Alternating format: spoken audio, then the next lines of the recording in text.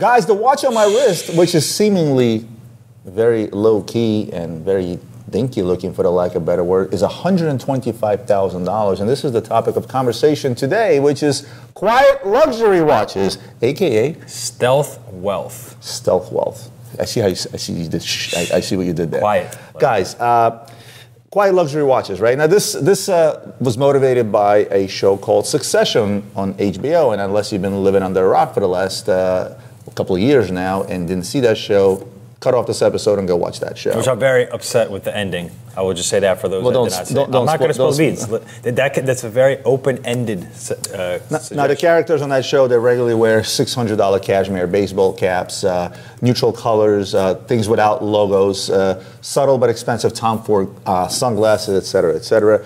And stealth wealth style is intended to convey what? Expensive and tasteful.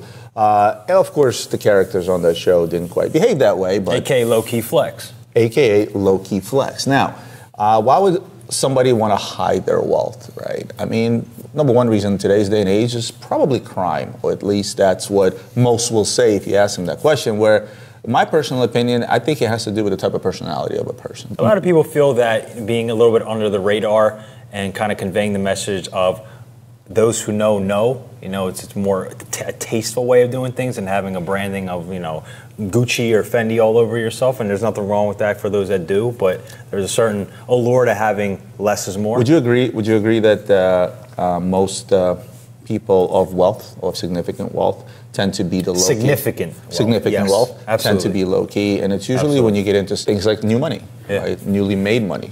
I was a victim of that myself. I came up from nothing, and when I made some money, I had every Gucci belt under the sun, right? It's new wealth that tends to show things off, and again, there's nothing wrong with that. I like to flex once in a while, right? But some people that have wealth, even if it's newly found wealth, they still don't change their ways and they tend to stay a little bit more conservative. So I think it's more on the personality. Now, what we wanted to do is we wanted to bring forth some watches which sort of displayed uh, that low key wealth, meaning for those that know, know. And I'll start with the watch on Adrian's wrist. I mean, So we have a 5402 ST. I thought you were going to describe what's on No, I want you to talk about But your I might as well take it off and show everybody. Yes, so this is a original 1972 made by Gerald Genta, Audemars Piguet 5402 ST. And obviously Royal Oak is, doesn't really coincide with low key flex. However, something like this is indicative of vintage and if you know, you know type of thing because not everybody who's a Royal Oak fanboy really understands the concept or how important a 5402 is. So what I'm the reason I wanted to start with your watch, and, and the biggest reason I wanted to start with your watch is the fact that it's still somewhat of a flex because everybody knows Yeah. what a Royal Oak It's is. It's getting more- but more mainstream, It's, it's sure. staying, it's staying, it's having somewhat of a flex, but nobody knows just how big a flex it is when you're dealing with an original 5402, depending on condition, Mm-hmm. exact serial number, uh, box papers, etc. It can be upwards of $150,000. Uh, where a Royal Oak, a regular, let's say 15500 today is what? You're looking at something like this that can be two, two and a half X of its modern counterpart. Exactly. So right? that's that's a flex. Yet with the same That's look. a low key flex within a flex. Yeah. Whereas if I go to the watch that I'm wearing, uh, you have to look really really closely first and foremost to see that this is a Patek Philippe. Uh, majority vintage Patek Philippe's in this genre in a precious metal will run you under ten dollars, Mm-hmm. and from afar will look like nothing special. What this is is one of very very few stainless steel watches made in the era back in the 40s. This is the first anti-magnetic watch that Patek Philippe came out with at a time where anti-magnetism. That a word? Is. Anti-magnetism was Yes. uh, something that was very useful because watches were big time tools. Fortunately, it wasn't Patek that you know came out with the first anti-magnetic watch. Believe it or not, that was Tissot. But nevertheless, it's a very, very, very important watch, and it's just a very low-key flex because from afar it can look like a five-dollar watch, it can look like a Timex or anything else. So this is a true, true low-key undercover flex. So I'm going to go into now that we're talking about Patek Philippe. I'm going to go into the 5074R. That's a minute repeater perpetual calendar, and this is one of the things that Patek Philippe. Let me just show it into the camera right here. Absolutely beautiful. More modern case size as well. It's a bigger case size for for a high complication Patek Philippe, especially at the time that it was made. This is what Patek Philippe does actually better than anybody else, right? I've always wondered how come they never show the tourbillon cage, and not that this is a tourbillon cage, but for them it works, and it's pretty much the essential and the definition of what a low-key flex is.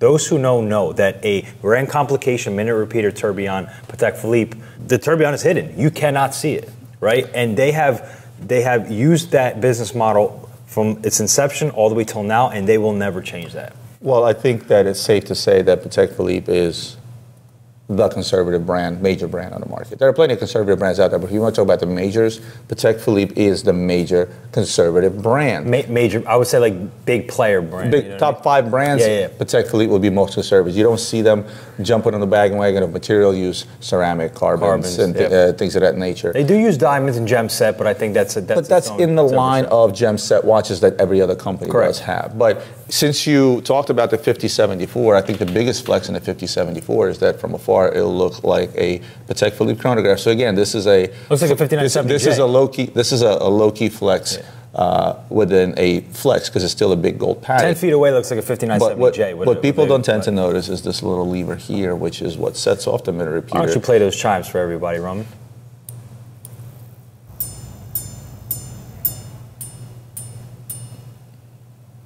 And that is what 700,000 US dollars gets you. Ding, ding, ding, ding, ding. Uh, I'm going to transition right into what you just touched upon, and that An is even subtler and, and that is tourbillons within Patek Philippe. Yep. Patek Philippe. You know, my favorite part is uh, we. You guys know we buy a lot online, right? We have our sellers portal where you guys come in, submit your watches, and we purchase them. How many times, or how many submissions have you had through the seller portal, through Instagram and things like that, of Patek Philippe saying, "Hey, how much this is worth?" And the deadest giveaway that it's a fake watch right off the bat is the fact that there's a tourbillon, tourbillon cage. a tourbillon cage 100%. visible. Patek Philippe does not show their tourbillon, which sometimes pisses off certain people that want to have a Patek Philippe, but at the same token, they are they want to flex, but yet they can't. So here's a 10-day tourbillon, which is a significant model from Patek Philippe, and you guys can see the tourbillon in the back. Yet the only thing you're going to see in the front is the word tourbillon, which from far. So what this ends up looking as possibly Gondolo. a steel watch, Or uh, a, a regular Gondolo from Patek Philippe. Uh, so again, it's still somewhat of a flex for those that know Patek Philippe and know this case shape, but for the most part, people may think that you have on just some steel dressy watch. That's not really a big deal, not $200,000 on a wrist. And I think the bigger flex for Patek Philippe is going to be their tourbillons, the fact that they hide their tourbillons. They have many repeated tourbillon models like a 5016 where you don't see the tourbillon, all you see is the words tourbillon. Even their even even their most elaborate tourbillons and highest and hardest Sky Moon tourbillon. Sky Moon tourbillon. You still don't Literally see call the- Sky Moon tourbillon. You do not see the tourbillon. do not see the tourbillon. So let's let's make our way around the clock here. about So counterclockwise. Let's Why don't we just go to the Tiffany, right? So another subtle flex is something that Rolex used to do back in the day with their Tiffany stamps, and now Patek Philippe does within their boutiques and salons. The Tiffany stamp, right? From far, it's almost unrecognizable. You cannot see it until, until You have a nipple dial right? GMT. Nipple dial GMT, which you know at the most is a twenty. Let's call it in the twenties. I mean, depending right? on condition, it's, Yeah. it's, it, it can be up to forty thousand dollars. We're talking about an immaculate condition, Immaculate with, condition, with full every set. single Yeah, thing. This is three X that with just that Tiffany stamp. exactly. Because of the rarity of it, because the amount of these that were made back at the time that these were made, anything that's Tiffany stamp is going to increase your value by far on major brands. right? Absolutely. Now let's talk about Patek. Well, now we don't have a Tiffany stamp Patek here, but let's just let's just give a quick. Let's just quick analysis. Brand new, 5980, market price today, rose gold on a bracelet. At the peak of, of the market, any I would say, let's use Nautilus and Aquanaut as an example. Perfect example. Two to two and a half x its retail counter, its a regular counterpart, I, I should say. I would say the ones that brought the most over um, over their counterpart value were stuff like 5711s, 5167s, where there isn't a lot of there's a lot of real estate on the dial, I should say, where there's not a lot of complications, and you can actually, you know, visibly see that. Tiffany The less stamp. the less complicated the watch Right. was, the more X value it brought Over with a Tiffany stamp MSRP. because the more visible. Uh, I think the least visible Tiffany stamp would be like on a 5712, right? I think it's probably Uh, 5990 is a tough one. 5980 is a tough but one, like too. a, a 5711 white dial Tiffany, it's it's it's actually visible. I mean, we don't, we don't have to go far. Let's talk about the Tiffany Tiffany pack. Well, that- right? well, th- you- six you- million dollars right, if it's an yeah. auction, right? But I mean, again, with the market slightly coming down on popular models such as Nautilus and Aquanaut, the X value has come down as well. A rule of thumb on any hot model, be it Nautilus or Aquanaut from Patek Philippe, you were sitting at at least two X. Yeah. Right now, you're sitting at about one and a half X, one and a quarter X, mm, Yeah. depending on the model, a right? half, yeah. But nevertheless, it's again a flex within a flex where that tiny little stamp, in a case of vintage Rolexes, such as this, it quadruples the value, which is pretty, pretty insane. Uh, speaking of other things that could increase in value quietly, here's a seemingly old president that, you know, condition is a little wobbly, the bracelet's a little wobbly, but it's the dials, right? It's the dials, which is more the same when it comes to stamp dials, but also comes more the same when it comes to special dials. This one happens to be a great example of a Stella dial. But be careful here because condition is everything in terms of value, right? So this is an eighty thousand dollar example. You could probably find a green Stella dial at around the fifty thousand dollar mark, but the dial would be messed up. To have something with a perfect condition dial, such as in this watch, you're paying upwards of eighty thousand dollars. You pull this dial out, what do you have? A sub twenty thousand Yep. watch. Again, going in line with what you said, four X in the very least. And there are plenty of dials out there that are going to be that subtle flex, taking your twenty thousand dollar watch and making it an eighty thousand dollar watch. And a rule of thumb is going to be your precious stone, uh, not precious, your stone dials, right? A lot of your stone dials will double, triple, sometimes quadruple your value. I've even had an interesting scenario that came up recently with a meteorite, actually a modern meteorite GMT. In other words, because every dial is unique in terms of its uh, how it looks aesthetically, uh, had a guy that wanted to buy a brand new meteorite GMT, and it was a 2023 with some stickers still on the case, and he was very, very adamant about brand new 2023. Could not talk him in otherwise. He ended up paying more for a 2020 because he liked the dial variation better. And I agreed with him. Something about the 2021, not that 2020 is a different 2023, it's that specific dial was aesthetically more beautiful. The lines in it, the way it flowed. I think same can be said So- about Mother of Pearl. Mother of Pearl, absolutely. Same can be said about uh, stone dials. Stella dials are consistent, right? Because they mix the paint for every dial individually. Uh, the reason they're called Stella dials, by the way, is because the company's name was Stella that made the paint for Rolex to paint each individual dial. So Stella dials, you're going to be pretty consistent with uh, stone dials. MOP dials, any any natural stone, any natural material out there, be it meteorite, you're going to have variations, and one will look better than the other, depending on your own personal preference. Exactly. I say we go back to dials and talk about unique dials such as the enamel dial, which we have in the Glashütte and Roman. I think you can talk about this as well. So enamel dials are probably the biggest low-key flex out there when it comes to dials. Because look, when it comes to Tiffany stamp dials, if you look close enough, you can still see the Tiffany. When it comes to Stella dials, most people recognize a Stella dial for its brightness, be it, be it red, green, or whatever color variations they made it in. When it comes to these dials, it's just a white dial. Yeah. Right? And you really have to look close and hard to really know the model. Like this is the Glashütte Glacier, I believe it's called, the proper pronunciation, mm-hmm. right? You have to look close and hard to realize that this is not just a standard white dial, a painted white dial, or a steel dial, or whatever it might be. This is something that y- you'd be very, very hard pressed to know, and you, unless you're somebody who's specifically into these type of dials. If you are into these type of dials, you're going to be the only person that's going to know. And case in point, it almost doubles, sometimes triples the value of their watches. When it comes to Rolex, there's a Zenith Daytona out there with a white porcelain dial. Uh, it's 5x the value of its counterpart. So be on the lookout for these dials across various brands. There's a big following for them. Absolutely. Porcelain dials, when you look closely at them, this is wrapped in plastic. If I were to unwrap the plastic and look at it, as you look at it closely, you realize why people are paying that much more. It's just something about that handmade beauty of porcelain, period, in many applications that attracts people, be it a kitchenware or be it a dial of a watch. It just adds so much oomph to the watch, yet making it a very, very low key flex. And to go back to the enamel dials, just want to let you know we just closed the deal on a 3939P, minute repeater, tourbillon, subtle flex, and enamel dial. That would have been actually the perfect. I mean, we can pop that watch in. The- Yeah. I, I think, funny you should bring this up. That watch has always been known as uh, the billionaire's undercover watches. At least that's how I dubbed it. Maybe not the public. Uh, very a watch that's very near and dear to my heart, and because of that, that was actually the very first big Patek Philippe I've ever sold. Dating going back more than 15 years. It was a 3939. It's a dinky little 36 millimeter watch that is a minute repeater in the tourbillon that's not visible, with a porcelain dial, plain white from afar. It looks like a five dollar watch yet. Uh, at the time, the one I sold was a yellow gold black unique dial. I sold it for five hundred and fifty thousand dollars. And guess who it went to?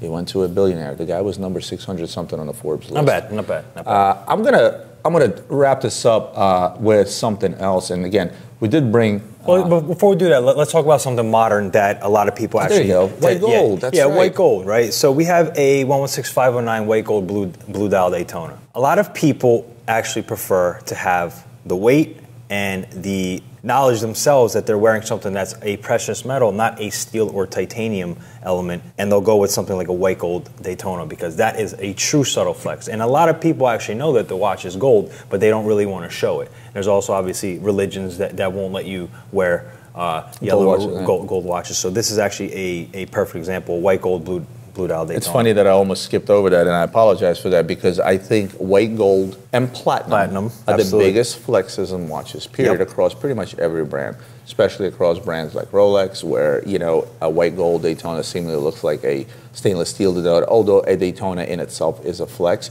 But if you look at the reason you we brought this in as an example is to talk about white metals. White metals in general are going to be your low key low low key watches, right? Low flex, low key, because most people would think it's a stainless steel watch. Nope, a lot of the people will not realize that that's actually a precious Well, you're, metal well, watch. essentially what you're communicating is, hey, I'm willing to, to pay the same price for something that looks a lot ch- cheaper. Right? And that's and that's a flex. oh, uh, that's In- a low key flex in its own. Yeah. Where where I'm, I'm going to pay some a hundred thousand for something that looks like it could be ten thousand or less, Mm-hmm. and that's where white metals come into play. Another, uh, we did bring a uh, IWC minute repeater, and the reason I brought this minute repeater because this is probably least visible minute repeaters because it looks from afar like a plain J IWC Portuguese. And if you don't know what this lever does, especially don't forget your minute repeaters as it sits on your wrist, it sits towards you, right? So most people don't even notice it. Uh, it will most likely a cuff of something will cover that little lever. So it just looks like a plain J IWC Portuguese, which will trade around 10 grand or even under, in, in, even in gold, right? The white gold version or the platinum version of this is the biggest flex, really. We just don't have one. Since you said cuff, I actually just came up with a scenario in my head. This is weird how my brain works. Matt, you know how when you're at a dinner where you're dressed up, whether it's a wedding, whether it's some type of whatever event, and you click the wine glass to get everybody's attention? Imagine you just went zzz, ding, ding, ding to get people's And if you put it in a cup, it would magnify. That would be kind of cool. If I don't, think, I don't think it would be somebody, allowed. I don't, I'm don't think it would be somebody allowed. did that one day. That would be a flex. That, that would be a flex. That would be a flex. Yeah. And last but not least, I want to finish with unknown complication flexes, right? And uh, I brought this Audemars Piguet Star Wheel. This was made for the 25th anniversary. I love Star Wheels. So, uh, brief, you know, brief history, and I'm not going to get into details. And going back to the 16th century, there was a pope who had amnesia. Uh, he asked an Italian watchmaker to make him a clock that's going to project time onto the wall. So in the middle of the night, when he wakes up, he knows what time it is. He did it by utilizing these discs, and then an oil lamp would project the images onto the wall. This in turn inspired Audemars Piguet to create the wandering hours complication, and that's what this is. And a lot of people just at a glance, because you can't really see it because of the way these discs are positioned, they're like, that looks kind of weird. That maybe that's an Invicta. No, uh, You know that you know that that's the only watch of all watches I've ever dealt with that when I see it makes me sing a song. What song? Starboy by the Weeknd. Every time I Uh, see a Star right. Wheel, I sing Starboy. Yeah. Okay. Okay. I really like that song. I think another thing worth mentioning, and also is important, that this is also a watch that inspired Felix Baumgartner to create the brand Urwerk. Because if you look at the concept behind the little cubes going around the circle, he took it to the next level, obviously making it more 3D. But certainly the watch that inspired him. So that Pope that had amnesia has inspired a lot of things in modern watchmaking. Not to mention the current version of the Star Wheel from AP, which I think is a smoke show. I still haven't seen it in person. I haven't seen it in person either. not seen it in I person haven't yet. seen it in person either. But compli- the reason we bring this up is there's certain complications out there that are indeed very complex that drive the price of the watch up. Where at a glance, people say, well, it's just another old Millenary from Audemars Piguet. I should be able to buy one of these for around five grand, ten Nope. grand, right? And meanwhile, these things are trading way over 30 and certain variations of it way into 50s and 60s. Like the platinum one we just had with the patina. Woo. Yeah, that one sold for Man. 67 or something like Man, that. Man, that was beautiful. I don't remember. So, complications is another low key flex or stealth wealth, as we like to call it. Now, of course, I'm sure there are plenty of examples that we may have missed, but this is the topic of conversation today. This is what we wanted to discuss while showing you guys uh, some example. Comment below watches that you think are definite stealth wealth or quiet luxury. Other than that, Adrian, thank you for joining me, guys. Thank you for having me. joining us. Uh, thank you for watching. Like, comment, share, subscribe, and we'll see you on the next one.